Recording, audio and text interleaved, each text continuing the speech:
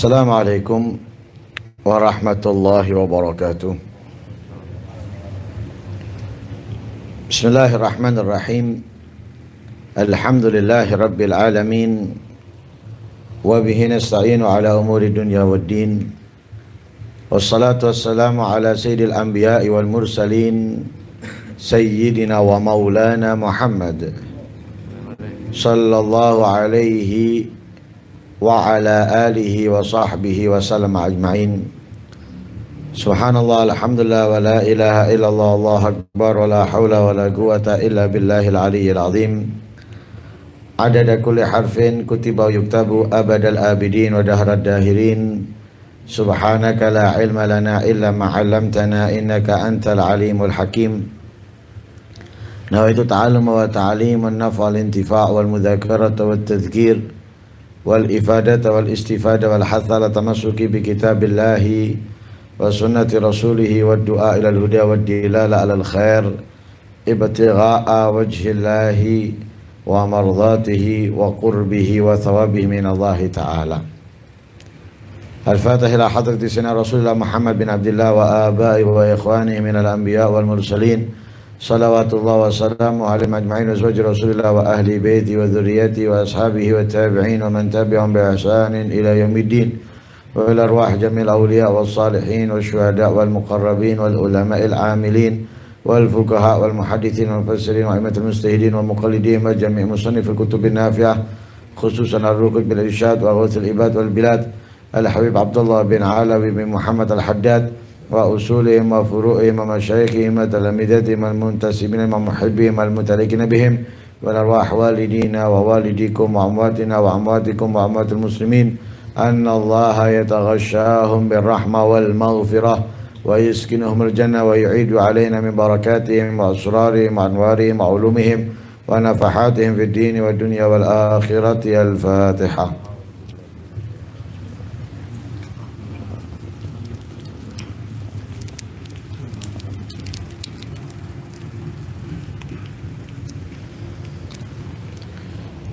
قال المصنف رحمه الله ونفعنا به وعلمكم في الدارين. آمين. في كتابه النصائح الدينية إلى قوله وأما من أنفق صحته وفراغه في معاصي الله ومساخطه فهو خاسر ممكوت وليس بمغبون. إنما المغبون من ينفقها في البطالات والمباحات. وقد يكون معنى الغبن في الصحة والفراغ أن لا يؤطاهما الإنسان فيبتلى بالأمراض أو الضعف وكثرة الأشغال. فلا يتمكن بسبب ذلك من الأعمال الصالحات التي يتمكن منها الأصحاء الفارغون. ففهمها هنا قوله تعالى وفضل الله المجاهدين على القائدين أجرا عظيما.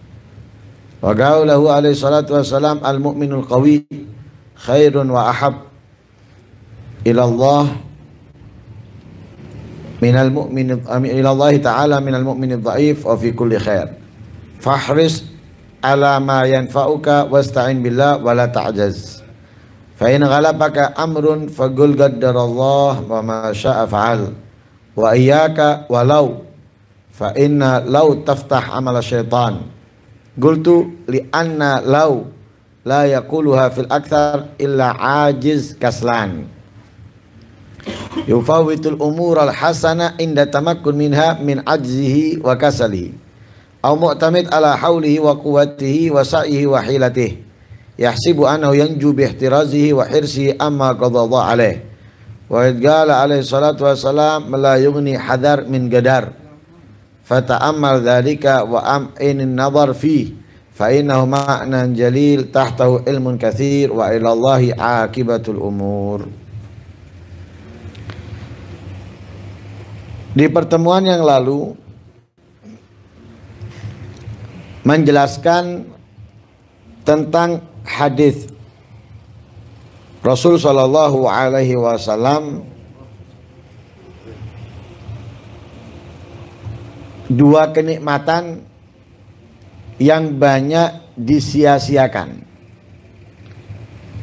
yang banyak tidak dimanfaatkan. Bahkan dianggap atau dilupakan bahwa itu adalah kenikmatan yang sangat istimewa. Dengan dua kenikmatan kita dapat meraih sesuatu yang sangat istimewa. Sangat mulia yang dapat mengangkat derajat kita. Menghapus kesalahan kita. Yaitu kenikmatan sehat dan waktu luang.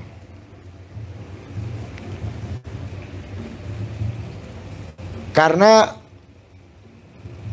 apa yang ditinggalkan di masa sehat dari amalan yang bisa ia kerjakan atau apa yang ia tinggalkan di waktu luang dari kebaikan ketaatan yang ia bisa melakukannya. Tapi tidak dilakukan. Malah digunakan hal-hal yang sepele. Hal-hal yang kurang bermanfaat kurang berguna. Baik untuk agama ataupun dunianya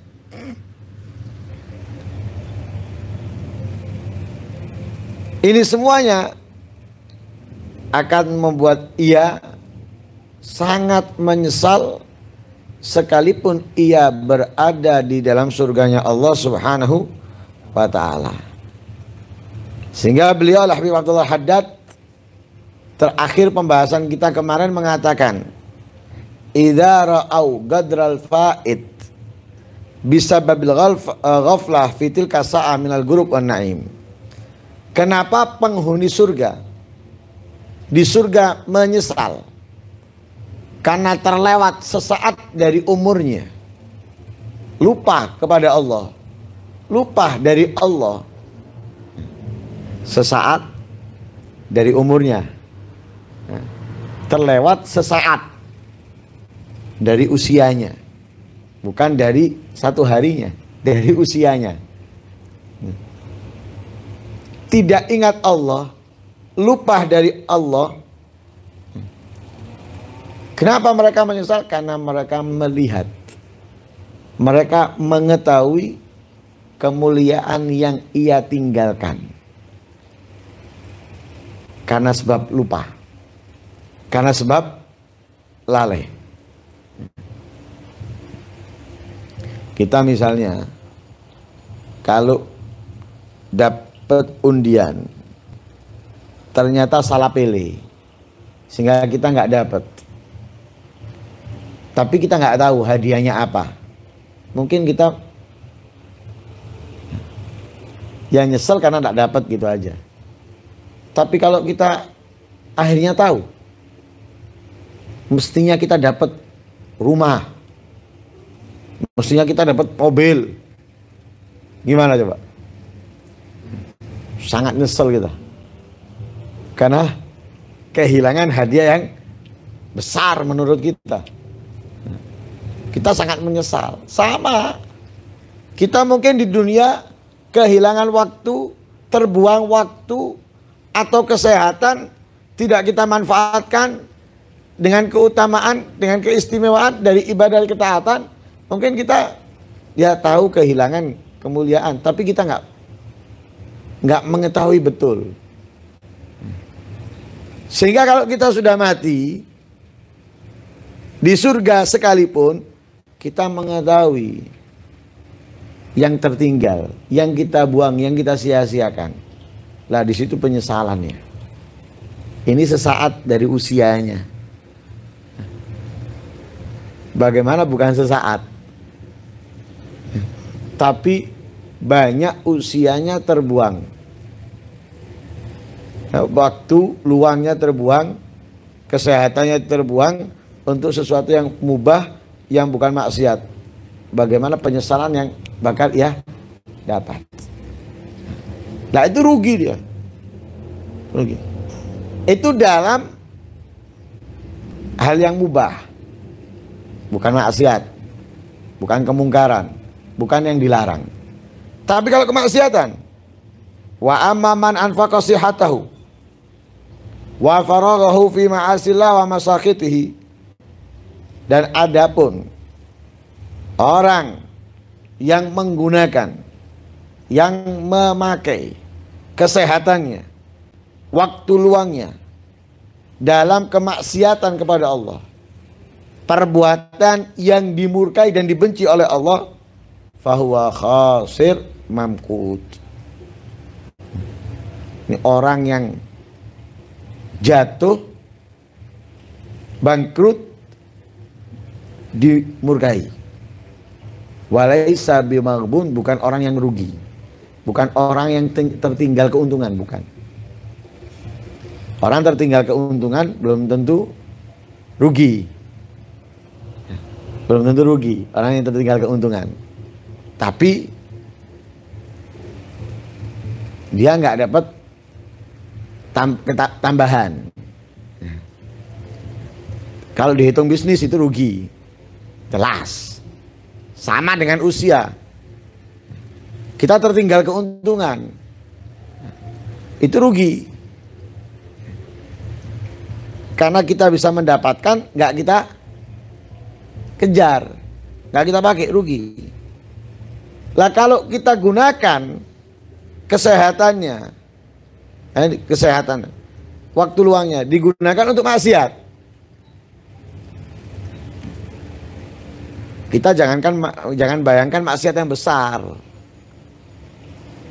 Maksiat yang kecil-kecil. Yang susah kita lepas dari diri kita.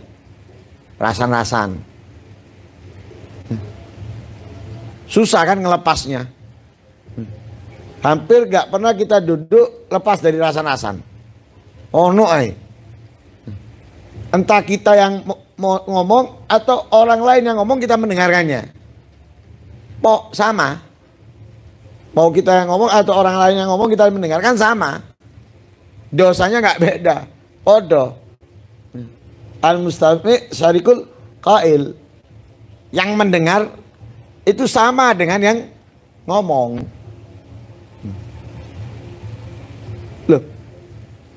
ini satu dosa. Seperti ini berarti kita punya masa sehat atau kita punya waktu luang yang saat itu kita bisa gunakan untuk berzikir. Yang mudah misalnya istighfar solawat atau mengucapkan la ilaha illallah atau mengucapkan tasbih subhanallah wa bihamdi subhanallahil azim. Bisa tapi dia gunakan omong-omongan bukan ilmu. Bukan agama.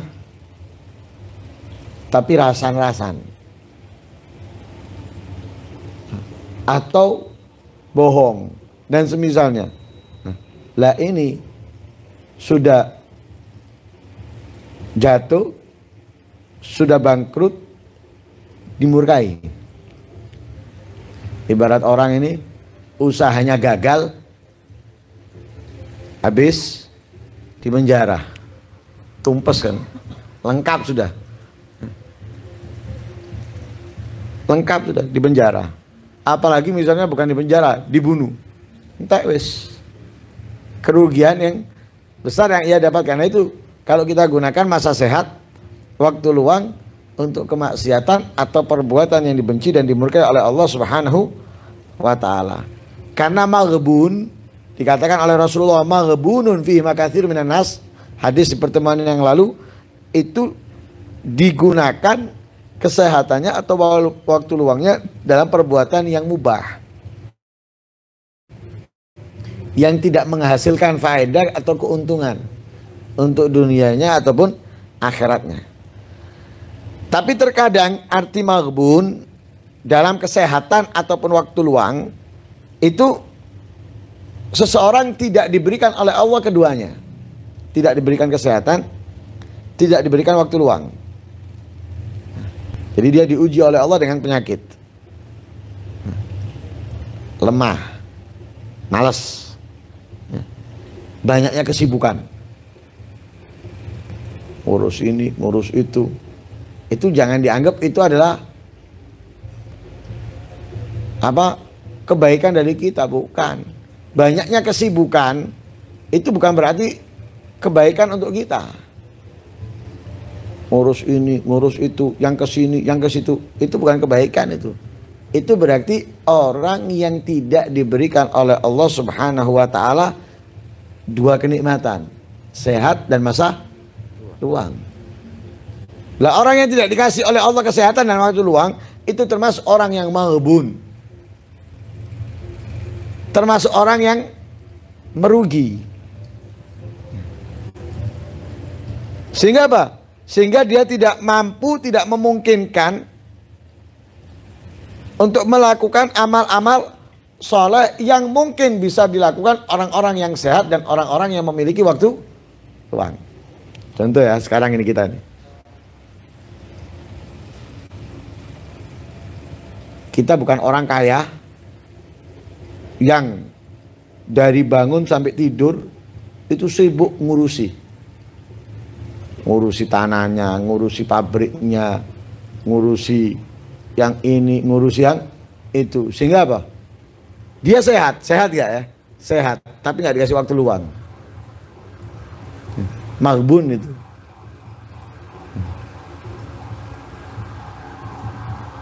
Atau dia punya waktu luang tapi dikasih sakit.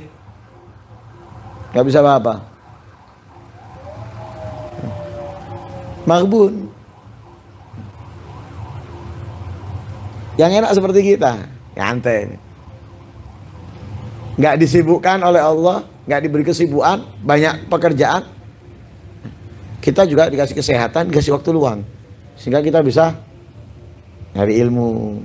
Kita bisa hadir majelis kita bisa salat berjamaah di masjid, musola. Ini berarti kita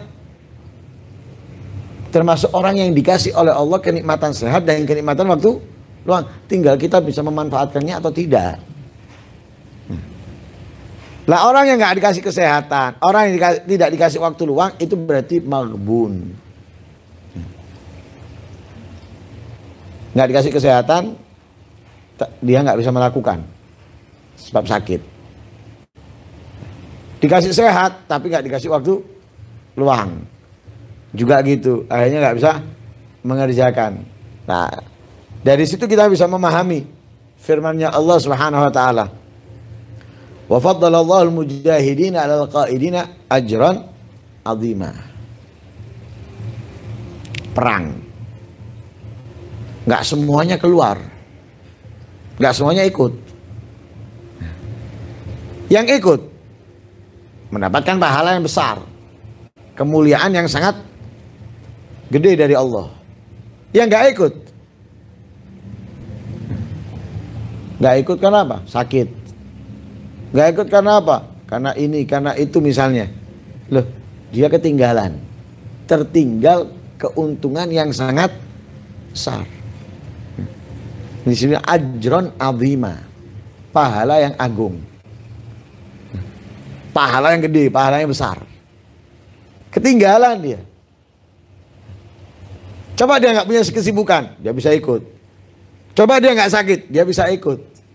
Tapi karena dia sakit, karena dia akhirnya apa? Yang jihad mendapatkan keuntungan, kemuliaan dari Allah Subhanahu wa taala dengan pahala yang besar.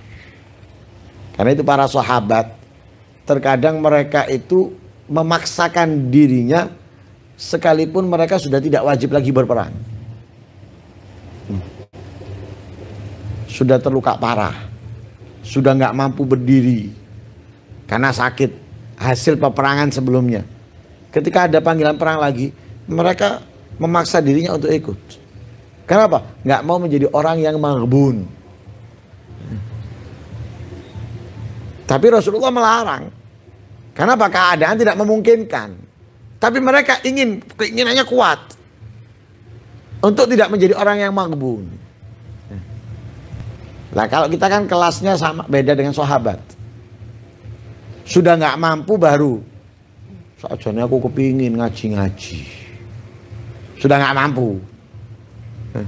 Terus kari mati nih baru ngomong sakjane aku iki kepingin karep tapi sudah kuat meneng awakku ndak koyo biyen.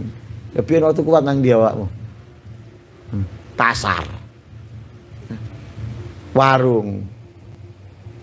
Pos kamling dan yang lain sebagainya. Sekarang nggak bisa. Lah ini beda. Kalau sahabat tadi tetap mendapatkan pahala dari niatnya. Karena apa? Kalau memang nggak terjadi seperti itu mereka pasti tetap akan keluar. Nah kalau kita kan nggak sudah pack baru ngomongnya seperti itu.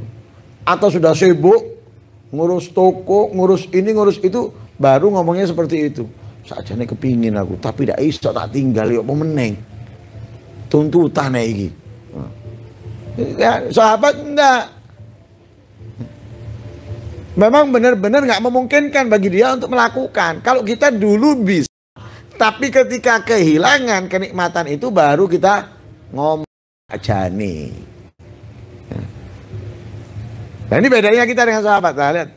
Allah faddal Allah mujahidin al gaidin ajran azima. Berarti yang dikasih oleh Allah yang tidak dikasih oleh Allah kesehatan atau waktu luang itu termasuk maghbun. Begitu juga dalam hadisnya Rasul sallallahu alaihi wasallam. Al mu'minul qawi khairun wa hab ila Allah taala minal mu'minid dhaif wa fi kulli khair orang mukmin yang kuat itu lebih baik. Lebih dicintai oleh Allah Subhanahu wa taala dari orang mukmin yang lemah. Dan di setiap kebaikan. Mukmin yang kuat. Bukan kuat imannya saja. Tapi mukmin yang kuat di sini orang yang punya semangat. Orang yang punya optimis untuk terus meningkatkan kebaikan ketaatan. Nggak kenal lelah untuk ketaatan kebaikan, nggak kenal males untuk ibadah kepada Allah Subhanahu Wa Taala. Ini mukmin yang kuat. Ya, karena jelas kalau tingkat keimanannya terus membaik, terus meningkat, nggak mungkin punya sifat males. Nggak mungkin. Atau menurun. Nggak mungkin ibadahnya. Ketaatannya nggak mungkin. Justru dia akan memikirkan bagaimana cara meningkatkan dan meningkatkan. Dan itu dilakukan. Bukan hanya cuma memikir tapi dijalankan. Itu mukmin yang kuat. Lah mukmin yang kuat ini lebih baik dan lebih dicintai oleh Allah. Dari apa? Mukmin yang lemah. Mukmin yang lemah itu yang pesimis. Tak mampu saya. Tidak bisa. Gampang down. Males. Ada halangan dikit mundur ditinggalkan. Nah, gambarnya hujan misalnya. Gerimis titik mundur wis. Ini mukmin yang lemah ini. Mukmin yang males ini. Baru kena gerimis mundur. Belum hujan ini. Sik gerimis. Mungkin belum gerimis, sik tes tes. Waduh. Kok udan dah mulai aku. Sudah mikir kok udan. Iya oleh hujan. Itu kalau hujan. Lah kalau kamu selesai taklim pray hujan mari. Sudah mikir nanti kalau hujan. Loh. Ini sudah dan duluan ini. Sebelum bertanding ini. Jadi sebelum naik ring terus mundur. Waduh tibanya awak gede. Mus, ndak wani aku ndak wani. Ndak situ ndak situ. Lah. Ini sudah diumumkan sudah di left kan misalnya ternyata karena mundur lah ini yang mukmin yang lemah Ini nggak ada. Yang mana yang lebih baik? Ya yang kuat. Sama dengan yang punya waktu luang, sehat, digunakan, dimanfaatkan, lebih dicintai oleh Allah. Dari apa? Yang punya waktu luang, punya waktu kesehatan, tapi disia-siakan. Nah, karena itu fahris alama yanfa'uka wasta'in billah wala ta'jaz. Maka berusahalah melakukan apa yang manfaat untukmu mintalah pertolongan kepada Allah dan jangan malas. Ya harus dari diri kita. Dari diri kita bukan dari orang lain, dari diri kita. Kita harus punya pendorong dalam diri kita untuk membaik, apa, memperbaiki, meningkatkan diri kita sendiri dengan ketaatannya, dengan kebaikannya, dengan ibadahnya. Kalau enggak, enggak bisa. Makanya Allah berfirman, Inna Allah la yughayyiru ma hatta yughayyiru ma bi anfusihim. Yang merubah kita. Yang merubah kita bukan orang lain, kita. Kita mendengarkan nasihat. Minimal aja, minimal. Itu di Jumatan. Minimal. Ketika Jumatan kita mendengarkan khotib. Menasihati kita. Tentang iman, tentang takwa, tentang tawakal, tentang ini, tentang itu. Minimal itu. Apa yang kita dengarkan jadikan bahan. Jadikan mesin dalam diri kita untuk memperbaiki keburukan, kekurangan yang ada dalam diri kita. Kita yang merubah. Bukan mereka, kita. Mereka hanya menjual atau memberikan bahannya. Yang buat siapa kita? Contoh ini. Anak mau bangun rumah. Anak butuh tukangnya toh. Bahan dari anak semuanya sudah. Ya, dia kan tenaganya. Besinya, kawatnya, kemudian semennya, pasirnya, batunya, semua dari anak. Tukang hanya menjalankan. Sama kalau istri. Suruh masak ini, suruh masak itu. Kayak ono bahan ini dimasak no dia yang masak bukan kita. Kita memberikan bahan sama kita dinasihati ustadz, kita dinasihati ulama, kiai. Itu bahan yang diberikan kepada kita, kita yang masak. Mateng nonang dalam diri kita. Nah, itu timbulnya kebaikan dan dari kita kita ambil manfaat. Yang manfaat kita ambil, yang baik kita ambil, tapi jangan lupa apa yang kita dapatkan itu mintalah pertolongan kepada Allah agar kita bisa menjalankannya. Nah, jangan kemudian kita mengandalkan diri kita lupa Allah, nggak bisa. Nah, karena yang mengatur segalanya Allah, maka kita harus meminta kepada Allah. Mau tidak mau. Harus kita minta kepada Allah karena itu dalam setiap sholat minimal 17 kali. Kita menyatakannya iya karena budu wa iya nasta'in. Hanya kepadamu kami meminta pertolongan. Hanya kepada Allah nggak ada yang lain. Makanya Rasulullah pun memerintahkan kita ista'in billah kata Rasulullah mintalah bantuan kepada Allah jadi kita punya bahannya bisa mengerjakannya tapi jangan kita melakukan kemudian kita melupakan Allah minta pertolongan kepada Allah jangan males Ya, jangan males. Ya. Males gak bisa dapat apa-apa sudah. Kita punya bahan tapi males. Ya nggak dibahasa. Nganggur akhirnya. Sayurannya, wortelnya, kentangnya nganggur. Lama kelamaan bosok. Akhirnya rugi sudah. Buang nggak kemakan. Sama kita mendengarkan nasihat Jumat di Jarno, di Telek Rusak buang nggak kepake nah.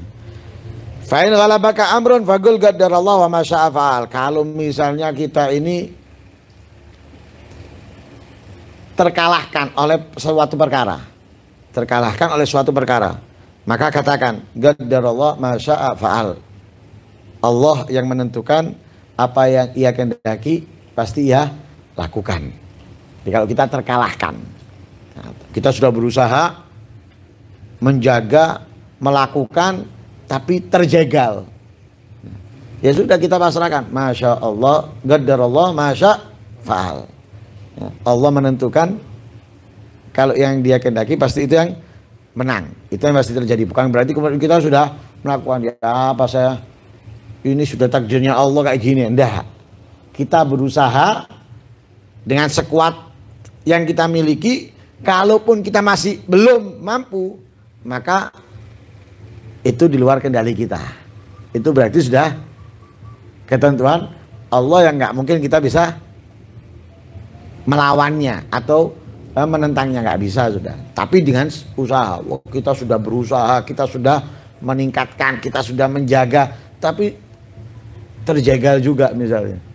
Ya, ibarat klub pertandingan itu pemainnya hebat-hebat. Dari depan sampai kiper hebat semuanya ini. Kelas semuanya ini. Kalau dijual bisa beli empat atau lima klub misalnya. Misalnya nih karena mahal-mahalnya pemain tapi mereka sudah berusaha. Tapi ya nggak mungkin mereka terus menang. Pasti sewaktu-waktu ter terjegal kalah. Nah, walaupun kalah kalahnya kadang ya nggak telak. Mungkin satu kosong misalnya. Tapi terkadang terjegal juga. Kita juga gitu. Sudah berusaha sudah menjaga sudah menghindar dari kebaik apa ke, kemaksiatan ini kemungkaran ini melakukan kebaikan ini kebaikan itu kok terjegal juga? Lah itu kita katakan Allah masya faal hmm? kemudian wa iya walau hati-hati dari ucapan lau kalau Hati-hati dari ucapan lau. Kalau bahasa Arabnya lau. Kalau bahasa Indonesia nya kalau. Kenapa? Karena ucapan lau atau kalau itu membuka amalnya setan. Membuka jalan untuk setan. Kalau anak sehat. Kalau anak punya waktu. Kalau anak kaya. Kalau anak kalau kalau kalau kalau. Selalu mengucapkan kalau. Kalau bisa anak ikut, anak pasti ikut. Kalau bisa anak naik motor, anak pasti berangkat. Kalau bisa anak beli bensin, anak pasti berangkat. Kalau bisa, kalau bisa terus seperti itu. Kalau, kalau, kalau, kalau. Ini buka jalannya setan. Buka jalan setan. Kenapa? Karena katanya Habib Abdul Haddad, ucapan kalau itu diucapkan kebanyakan oleh orang yang lemah dan malas. Orang yang pesimis dan orang yang malas. Yang mengucapkan kalau-kalau itu. Kalau tidak bangun, hadir anak. Kalau nggak ada yang order nggak berangkat anak. Berangkat anak.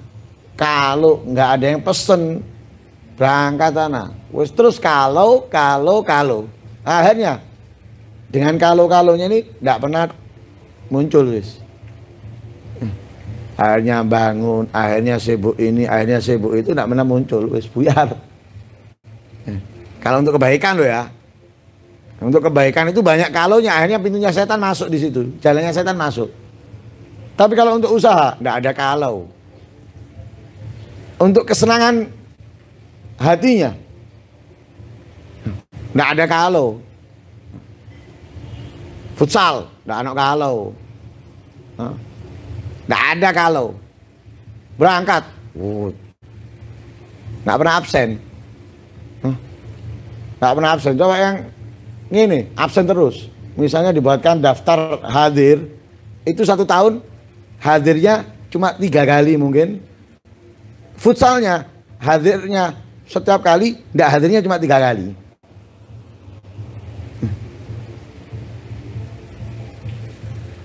Antum majalah seperti itu.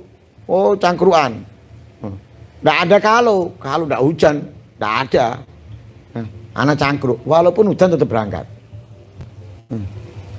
Nah ini kalau-kalau ini perbuatan atau yang diucapkan orang-orang malas. Orang-orang yang pesimis. Yang apa? Yufawitul umur al hasanah inda tamakkun minha min ajzihi wa kasli. Ia menyia-nyiakan meninggalkan perkara-perkara baik padahal ia mampu menjalankannya. dari malasnya atau ah, ini tidak mampu bukan nggak mampu dia bisa punya kesehatan punya waktu luang apa yang dia kerjakan bisa ditinggal bukan nggak bisa bisa tapi karena kalau akhirnya ia tinggalkan. Lu perkara-perkara baik banyak yang tinggalkan karena kalau tadi ini. Atau ia mengandalkan kekuatannya.